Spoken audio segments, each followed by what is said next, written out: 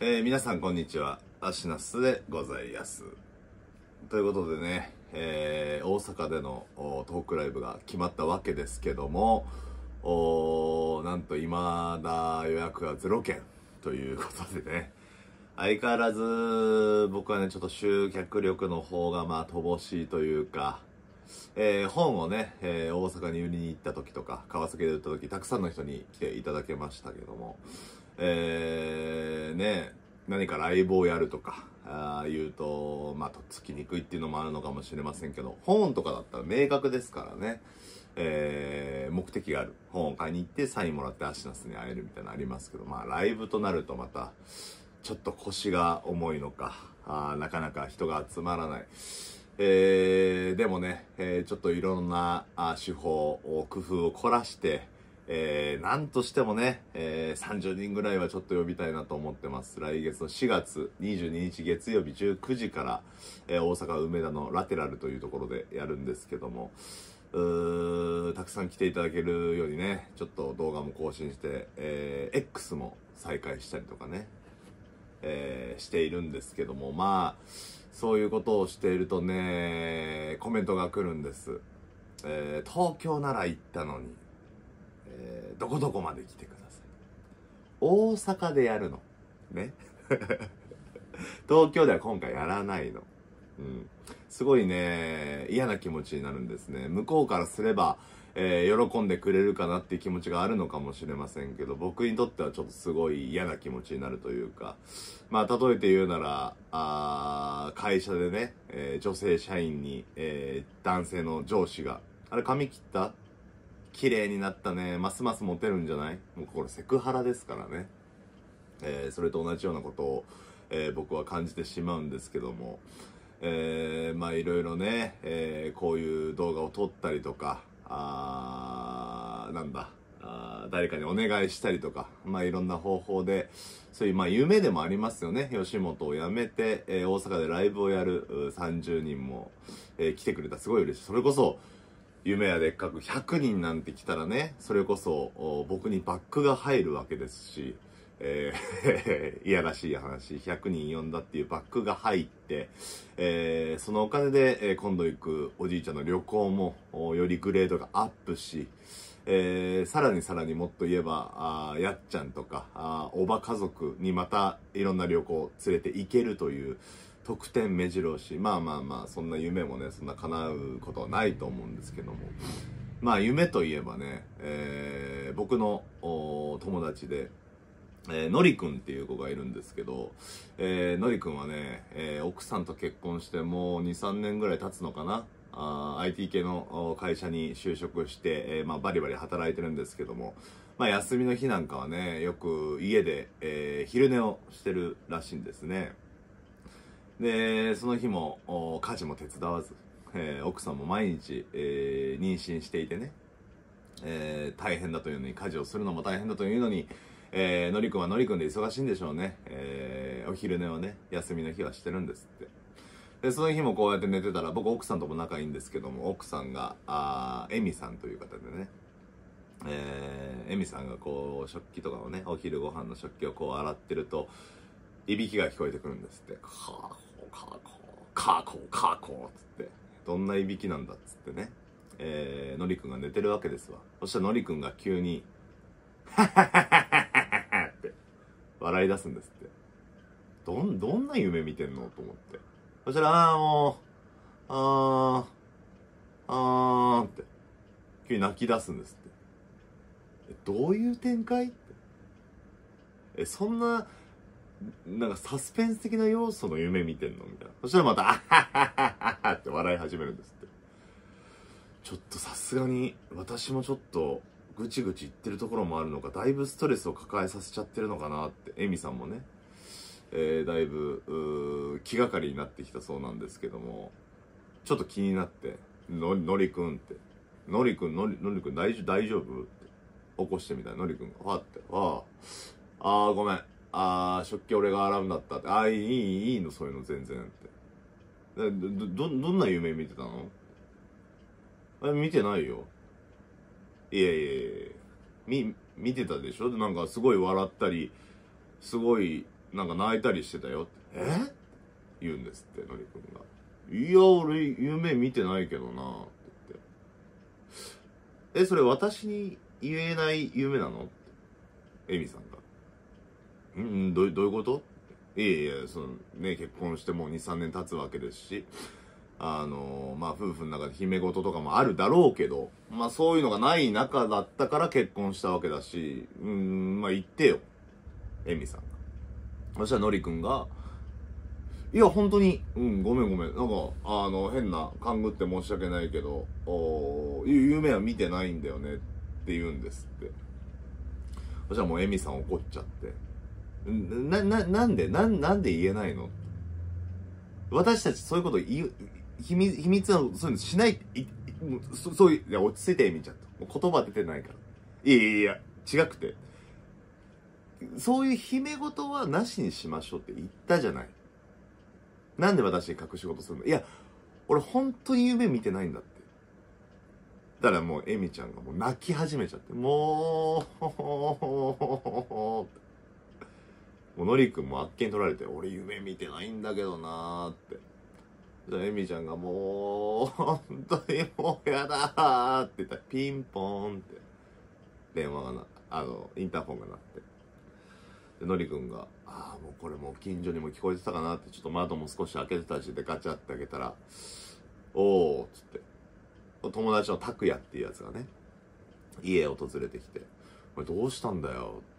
隣に住んでるんですけど、いや、ちょっとあの、エミの方がちょっとなんかおかしなこと言ってて、で、ちょっと上がるぞっつって、エミちゃん大丈夫って言って、もう、のりくんが、って言うんです。で、どう、どうしたのって。もうのりくんが、私が、あの、食器洗ってた、のりくんが洗うはずだったのに、私が食器を洗ってて、そしたらもう、昼寝をしてたのね。そしたら急に笑い出して。そしたら急に泣き出して。なんかあったと思うじゃない？変な夢でも見てるんじゃないって思ったじゃない？だからね、あの、どんな夢見てたのって起こして聞いたの。そしたら夢見てないって嘘つくのもう本当に嫌だ。あー、まあな結婚して、まあ隠したいこともあるんだろうけども、うん、まあのりくんにものりくんにそういう事情があるんだろう。ちょっと俺が話聞いとくわ、拓也が。で、俺の嫁さんが、あの、コーヒー入れてるから今、ちょっとエミちゃんそっちの方行っといでっつって。で、拓也がね、のりくんにお前座れと。のりくんちなのにお前座れと。あのまあいろいろあると思うけど、あーエミちゃん今妊娠もしてるわけだし、いろいろそういう、なんだろうな、うーん、心遣いというかお前にちょっと足りないんじゃないかいや、うん、まあ足りない部分もあるだろうけど、いや、お前な、そういうすぐ嫌って否定から入るところもどうなんだ？お前そういうところ直さないとエミちゃんもストレス溜まっていくぞ。いや、でもね、ほら、また出た。もうお前は昔からさ、自分が頑固でこうだと思ったらそういう風にして、もう周りの話を聞かないと。ダメだよ、そんなんじゃって。拓也が言うわけです。そしたらのりくんは、もう俺本当でもその、夢を見てないからなそしたら拓也がね。まあまあ、話はいろいろまあ分かったけども。そのところで、その、どう、どういう夢を見たんだよ。いや、だから、拓也。俺、夢見てないんだよ。いや、のりくんな。俺ら中学から一緒だろ？中学、高校。なんなら大学も一緒。サークルも一緒。で、エミちゃんと結婚するときに挨拶したのも俺だし。まあそうだよ。感謝してるよ。まあそうだよな。ってことはなんかこういう俺たちの中でそういう隠し事とかそういうのは嫌じゃないか？そういうのなんかこう、なんだ、葬式の時とかもそこぐらいまで響くことになるぞって。いや、まあまあそうなんだけど、夢見てないんだよな。お前さ、お前ら夫婦は喧嘩して俺止めに来たよ。俺だって休みで子供の世話とかあんだよ。奥さんもコーヒー入れてくれるという奥奥さんともちょっといろいろギクシャクあって、俺のちょっと夜遊びがバレていろいろあったから今日は家にいて家族サービスをしようとそう決めた時に、お前のうちからもう散々も怒号や泣き声とかいろんな声聞こえてきたから俺はここまで来たんだと。なのになんだその態度はと。ああ、もう信じらんない。信じらんないね、お前は。ああ。って怒っちゃうわけですね拓也もでのりくんも困ったことに俺夢見てないからなーって言ってたらじゃあもう出るとこ出ようか。うん。えなんだよ出るとこ出るって。うん。出てけ出てけって。拓也が。言うんですって。っていうのも拓也はこのマンションのオーナーさんの息子なんですね、えー、管理人というかまあオーナーさん。所有権を持ってる方の息子で、えー、お前とはそういう付き合いもあって、えー、ここに住ませてやったわけだけど、お前住ませてやったってなんだよ。いやいや、言いたくなかったよ。言いたくなかったけど、お前が、えー、この男の友情というものを、に、えー、亀裂を入れたんだと。うん。だから出てってくれ。いや、出てってくれは困ると。ちょっと、そういう話になってくると、俺も動かなきゃいけないぞって言って、のりくんも、動かないかんということで、あの、弁護士さんにね、えー、相談することになるんです。で、たまたま、あ拓也とかまた別のグループで、えー、あの、直樹というね、えー、男がいまして、えー、その直樹のところに相談に行くんですね。直樹は大学が一緒で、えー、ゼミが一緒だったんですね、のりくんと。で、あの、弁護士を志して、今ではね、もうバリバリ働いて、まだ新米ですけども、いろんな、えー、難事件を解決してきたという有名な弁護士の直樹なんですけど、直樹のところに相談に行くんです。えー、すまな直樹と急に呼び出しちゃって、ああ、全然いいよ。あの、仕事、うん、今休みだったから。で、どうしたの？いや、実はさ、いろいろ話すわけですね。したら、いやまあ不倫とかなんかそういう脇やらそういうトラブルはよく聞くけど、夢を見てない見てるでそんな揉めるかね？いや、そうだろ、直樹と。のりくんもすごい困って。いや、そうなんだよってもうしんどくてさ、家にいるのも億劫だし、しまいには親友に出てけって言われたんだぞって。いや、そりゃ叶わないなで、話はそんだけなので、いや、もうほんとそんだけなんだ。もうバカバカしいわ。俺もいろんな事件やってるけど、そんなバカバカしい話聞いたことないよって。なんかそうだろ？でさ、そののりくんさ、その、夢っていうのは、どういう夢を見たの？いや、あの、直樹ねって。俺夢見てないんだよ。いや、のりくんがその、言うのわかるけど、あの、こっちも一応仕事としてやるわけだし、まあ、友人としてね、まあ、昼休み、いろんな先輩方と会食がある中で、それ抜けて、えー、お前に会いに来てるわけだから、もう、のりくんも、またこのパターンか、みたいな。いや、俺夢見てないのよ。いやー、あのな、いろいろ事件、あ刑事告訴でも、民事でも何でもそうなんだけど、えー、こうやって裁判を訴える、人を訴えるっていう側の人間からもちゃんと事情を聞かないと弁護士っていうのは動けない。そういう仕組みになってんだ。もう法律でそうなって、憲法でそうなってる。うん。で、それを守ってくれないと、俺もお前の弁護をしようがないと。お前、だからどんな夢見たんだから夢見てないんだって。のりくん。これはちょっと、俺には扱えないわ。って直樹が言うんです。でもなんでもうなんでこうなるんだって。で、直樹も、直樹で。あの、もう今後なんか困ったことあっても、俺にはもう連絡よこさないでくれと。いや、直樹、いや、もういい。もうなんか、うん。それこそ、まあお金の貸し借りとかも学生の頃あったし、まあそれは昔のこと、いやまあ昔のことだからお前はまあそういう人間なんだよって、のりくんがね、かわいそうに昔のそのちょっと、えー、だらしない部分のところをつつかれて、で、直樹は帰っちゃうんですね。で、直樹の近く、えー、直樹の弁護士事務所の近くの喫茶店でこううなだれてると、どうしたんですか？のりくんが声かけられるんですね。そしたらパッと見たら、まあ初老の方が、いらっしゃって。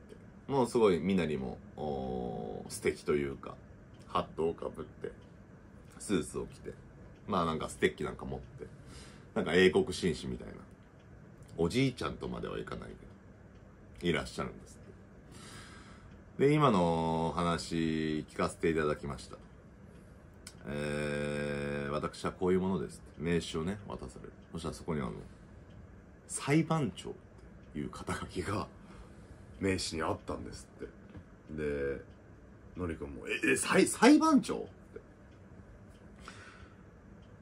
あのー、まあ彼もね、えー、石渡くんですけど、まあ、直樹の名字石渡くんですけ。ど彼すごい最近活躍されてますね。ただまだ青いところがあるというかあまああ弁護士としてはまだペーペー私から言わせてみれば。ああまあそれは裁判長の方から言わせたらどんなことがあったんですか？って言うんです。だからのりくんはいやこれこれこうで、えー、奥さんに夢見た見てないで、えー、喧嘩をし、えー、親友と喧嘩をしで親友が経営している、えー、マンションに住んでるのそこから出てけとそんなバカらしい事件なんかないからって言って、えー、大学の頃の友達だった直樹に相談したら直樹にまで夢は何だったか夢は見てないって言ったじゃないかといろいろ揉めてるうちに見捨てられたそしてここでうなだれてる次第でございますと。あだいぶバカが集まったというかバカ。いやーバカっていうのはまあ包み隠さず言うとバカですよ。うん。人間っていうのはねあの経験がないと形ができないものなんです、えー、辛い経験もそうだし楽しい経験もそうだけども大体9割が辛い経験って言われてますね。人を幸せにしたりとか人を楽しませるような人間っていうのはその残りの1割の力を使って、えー、懸命に人を喜ばせる。人をポジティブな気持ちにさせるように動いているんですよ。でその初老の人が言うんですね。はあ。私はね、えー、彼らよりもとても辛い経験をしてきました。だから僕の持ってる人を楽しませるという人を楽しく思うにさせるという1割の能力というのはあ彼らの数倍も数十倍もあるんですと。ほう。だからね話してごらんなさい。え？どんな夢見たんですか？もう。のりくんも大変ですよね。まあここで話すのも何でしょう、えー、ちょっと来てください。言われるですね。でもうのりくんももうどうでもいいやと。もう投げやりになってその初老についていくんです。そしたらもうその初老のお家というのもすごいところで、えー、高層マンションの最上階えー、しかもワンフロア全部その人のお家みたいな。もうとんでもない大金持ち、えー、裁判長だけでこんなに稼げるのかとちょっと疑いたくなるようなところだったんですね。で、こちらへどうぞ真っ暗なんです。照明も薄暗くて真っ暗なんですね。で、足元だけに明かりがあって、ちょっとテクテクテクって歩いてって。で、こちらどうぞって、パッてドア開けたら、もう、おっきなもうガラス戸がもう1個2個3個4個もう吹き抜け、もう全部、高層ビルのもうマンションの一番上からもう街が見下ろせるんですね。こんな大きい窓ガラス見たことねえなぐらいののが5つぐらいあってカーテンがシャーって開くんですけども。うん。その初老が言うんです。あの裁判長をやってるだけでここまで稼げると思うかいって。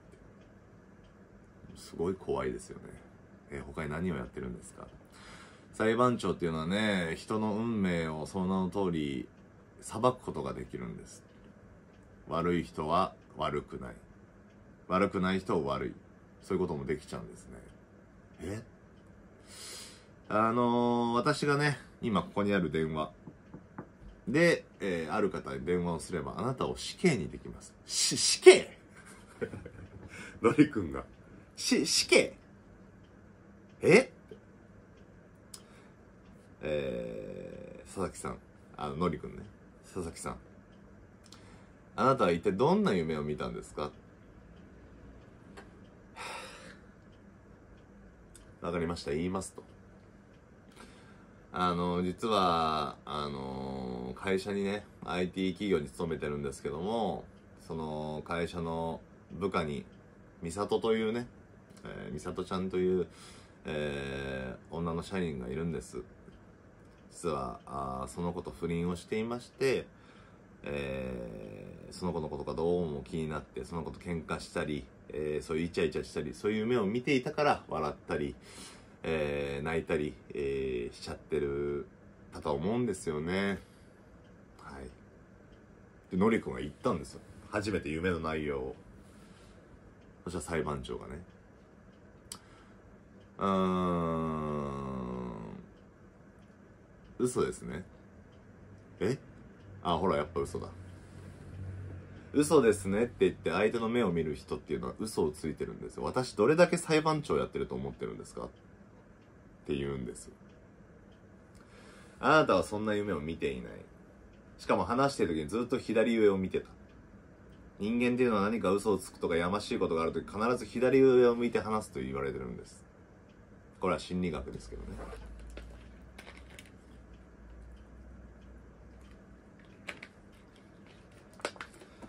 のりくんもびっくりしたんですよね。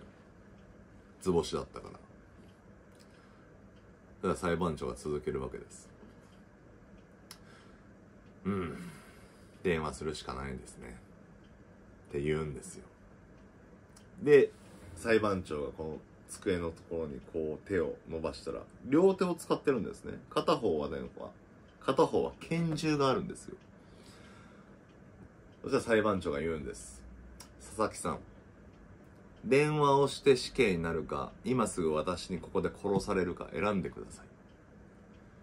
裁判長僕ね夢見てないんですよ。本当に夢を見てなくてね奥さんにも怒られて親友にも怒られて大学にお世話大学の時にとってもお世話になった友達にも怒られて。そして今日初めて会った裁判長あなたに殺される？夢見てないだけで。どういう人生なんですか？何が悪いんですか僕の？何が悪いんですか？あなたは夢を見てるのに見てないと言うからだ。だから見てないんだって。もう、見てないんだって。わかりました。そこまで嘘をつくんだったら、そこまで意志が固いんだったら、あなたを死刑宣告ここでしても、死ぬその直前まで何も言わないでしょうね。じゃあ今すぐ楽にしてあげましょうって言って右手にある拳銃を取ろうとしたらガラスがバリーンって割れて、え？そしたらその、大きい影みたいなものが、その裁判長をガッて掴んで、その空に引きずり込むんですよ。あーって裁判長が。もう初老なのに子供のようにやめてくれって言って。で、バーって、その黒い影が空へ行って、バーンって放り投げちゃうんです、裁判長。な、な、なんだこれ？そしたらもうバサバサ。バサバサバサって、ガラスの方見える。それがどんどんどんどん自分の前に近づいてくるんですよ。で、パッて見たらもう、人間じゃないんですよね。もう3メートルは超えてるぐらいの体格に、でも羽が生えてて、で、パッと下に目線を下ろしたら、下駄履いてて、えー、と思って、もう光がね、逆光、太陽の光逆光でよく見えないんですけど、よく見たら、鼻がこんな長いんですよ。天狗なんですよ。天狗がそこにいて、で、のりくんも、天、天狗？ああ？なって。あの、ずっと、話聞いてたよ。え？俺ね、その天狗の中でももう、下っ端の方でね、もうなかなかもうヒエラルキーの方でも上の方にいらんない天狗なのよ。だからね、暇でね、やることもなくてね、たまにこうやって下界に降りて、こういろいろこう、なんか起きて面白いこと起きてねえかなと思って。で、投資もできるからパーって見たらもういろいろ全部見えるわけよ。で、女の裸とかも興味もないし、別に金にも興味ないし、なんか面白い出来事ねえかなっつったら、あんたがいてよ。え？だなんか佐々木さんあんたね？佐々木則弘だろ？って言って。あそうですけど。ああんたがその奥さんと揉めてるとこ見たんだよああまたつまんねえ喧嘩してるなと思ったらそうなんか夢を見てる見てないでなんか喧嘩してたじゃない？って。まあそうなんですよ。のりくんも冷静でね相手天狗なのに話分かってくれるから。まあそうなんですよ。そしたらなんか親友が止めに来たけど、なんか結局揉めて、で、親友の家なんだろ？今住んでんのが。もうそうなんですよ。で、そしたらなんか、出てけっつわれて、で、今度、あれだ、すぐ電話して、ああ、弁護士の、あ、そうそうそうそう、その、阿久津くんに会いに行ったんだろ？あ、そうだ、直樹に会いに行ったんですよ。で、そしたらその直樹くんにも見放されて、そしたらさ、さっきのあのじじいだろ？って。あの人どうなったんですか?いや、知らないよ。どうでもいいよって。俺は知りたいのは一個なのって。え?どんな夢見たんだよ。天狗さん、もう、やめてくれよ。いや、やめてくれよじゃなくて。俺はな、この世のものじゃないんだと。この世のものじゃないやつに、夢話すがわけないだろって。さっきみたいに嘘つくなよって。全部聞いてんだからな。どんな夢見たんだよ。いや、夢見てないです。って言ったら、さっきまで赤かった天狗の顔が、も、もう、血どろもどろしたような、もう、真っ黒くなって、もう、天狗が怒ってるのを初めて見たけど、明らかにわかるんですよ。これはやばい。そしたら天狗の体がどんどんどんどん大きくなってって、あのな、人間よと。俺ら天狗なんてな、お前ら人間をひねり潰すなんてわけないんだぞ。だがな、一番苦しい殺し方してやるよ。って言って、バンって右足を、いとも簡単に引きちぎったんです、のりくんの。して痛い痛い痛い痛い痛い痛いって、なるわけですよ。で、痛いだけならまだしもな。これはどうだって言ったら、天狗の持ってた筆大きな筆があるんですそれで体をコショコショするんですよ。のりくんは痛いんですよ。右腕を、あ右足を引きちぎられてるから。でもそれでコチョコチョされた、はははははって笑っちゃうんですって。そしたら今度左足パシッって、痛い痛い痛い痛い痛いもう両足ないんですよ。痛い痛い痛い痛い痛いってでもそれでくすぐられたら、はははははって笑って。そして腕やられて、もう最後、お前首だーって時に、はって。もう、汗びっちょり。家なんですね。のりくんの。うわ。めちゃくちゃリアリティある夢見たわ。はぁって言ったら、遠くのキッチンで心配そうにエミちゃんがこっち見てるんですよ。のりくん、どんな夢見てたの？えー、以上ですね。あの天狗さばきというお話でございました。ありがとうございました。